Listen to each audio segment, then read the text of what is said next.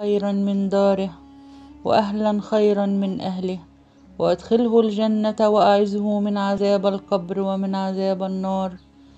اللهم عامله بما أنت أهله ولا تعامله بما هو أهله. اللهم اجزه عن الإحسان إحسانا وعن الإساءة عفوا وغفرانا. اللهم إن كان محسنا فزد من حسناته. وإن كان مسيئا فتجاوز عن سيئاته. اللهم أدخله الجنة من غير مناقشة حساب ولا سابقة عذاب. اللهم آنسه في وحدته وفي وحشته وفي غربته اللهم أنزله منزلا مباركا وأنت خير المنزلين. اللهم أنزله منازل الصديقين والشهداء والصالحين وحسن أولئك رفيقا. اللهم اجعل قبره روضة من رياض الجنة ولا تجعله حفرة من حفر النار. اللهم أفسح له في قبره مد بصره وأفرش قبره من فراش الجنة. اللهم أعزه من عذاب القبر. اللهم أملئ قبره بالرضا والنور والفسحة والسرور. اللهم إنه في ذمتك وحبل جوارك. فقيه فتنة القبر وعذاب النار. وأنت أهل الوفاء والحق فاغفر له وارحمه إنك أنت الغفور الرحيم.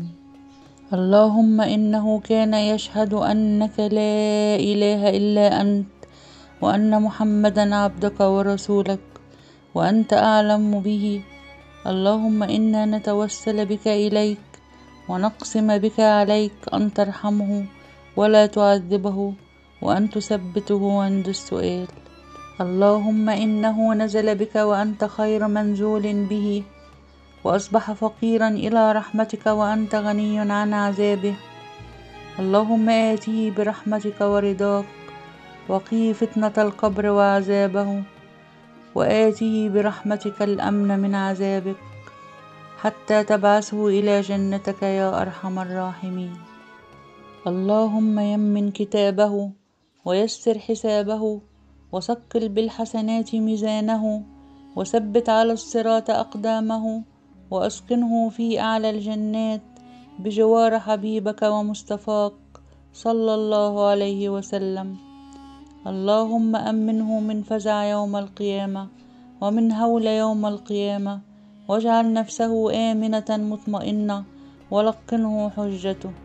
اللهم اجعله في بطن القبر مطمئنا وعند قيام الأشهاد آمن ووجود رضوانك واثق وإلى أعلى درجاتك سابق اللهم اجعل عن يمينه نورا حتى تبعثه آمنا مطمئنا في نور من نورك اللهم انظر إليه نظرة رضا فإن من تنظر إليه نظرة رضا لا تعذبه أبدا اللهم اسكنه فسيح الجنان واغفر له يا رحمن وارحمه يا رحيم وتجاوز عما تعلم يا عليم.